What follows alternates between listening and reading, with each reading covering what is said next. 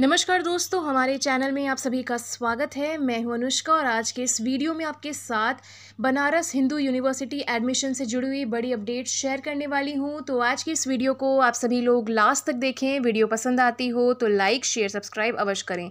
तो दोस्तों, बनारस हिंदू विश्वविद्यालय में शैक्षणिक सत्र दो हज़ार तेईस से चौबीस के लिए अंडर ग्रेजुएट कोर्सेज में एडमिशन की प्रक्रिया शुरू हो चुकी है।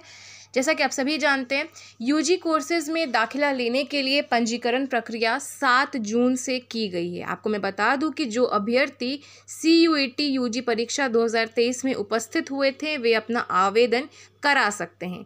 आवेदन करने के में यूनिवर्सिटी के admission portal B H U online dot in पर जा कर के आपको फॉर्म को भरना है। ये आवेदन प्रक्रिया 26 जून तक चलेगी।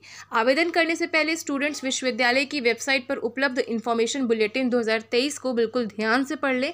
छात्र वेबसाइट पर उपलब्ध लिंक पर जाकर दाखिले के आवेदन कर सकते हैं। इसके साथ ही मैं आपको बता दूँ कि एडमिशन के लिए आवेदन करने के पहले अभ्यर्थियों को अंडर ग्रेजुएट प्रोग्राम रजिस्ट्रेशन के लिंक पर क्लिक करना होगा, जहाँ छात्र की मांगी गई जानकारी आपको भरनी होगी।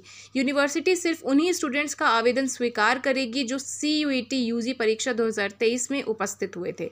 जानकारी के मुताबिक, पिछले साल विश्वविद्यालय में सी यू ई टी के माध्यम से करीब चार लाख आवेदन प्राप्त हुए थे। इतनी बड़ी संख्या में एडमिशन के लिए आवेदन प्राप्त करने वाली यह दूसरी यूनिवर्सिटी बन गई है। आपको मैं बता दूँ कि यूनिवर्सिटी स्टूडेंट्स को कई तरीके के कोर्सेज ऑफ़र करती है। इनमें अंडर ग्रेजुएट ग्रेजुएट कोर्सेज यानी स्नातक तीन साल के होते हैं और पोस्ट ग्रेजुएट कोर्स दो साल का होता है। इसके अलावा छात्रों के लिए कई तरीके के डिप्लोमा कार्यक्रम भी चलाए जाते हैं। इनमें से कई डिप्लोमा एक साल तो कई दो साल के भी होते हैं। इसके साथ ही ये कोर्सेज जो हैं, ये कॉलेज संचालित करती हैं। तो अगर आपको फॉर्म भरना है दोस्तों तो आप इसकी वेबसाइट पर जाकर के जल्दी से जल्दी फिलअप कर लें। इसी के साथ आज के इस वीडियो में इतना ही। जय हिंद, वंदे